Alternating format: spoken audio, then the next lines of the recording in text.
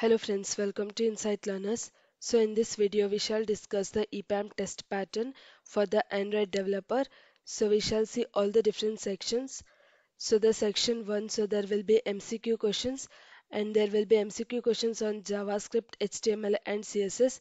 So with respect to JavaScript there will be 10 MCQ questions and HTML and CSS 10.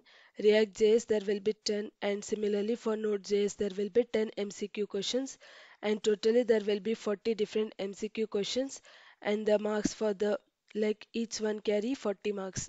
So the time or the duration is 40 minutes for the section 1 and there is a negative marks for this test so it will be 0.5 negative marks for all the sections. So the next will be the section 2 so there will be MCQ questions. So on OOPS concept object oriented programming so there will be 10 different MCQ questions on OOPS and the marks is 10 and the duration is 10 minutes.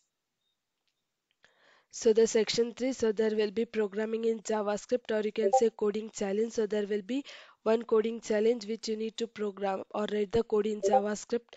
So there will be one and the marks is 25 marks and the duration or the time is 35 minutes.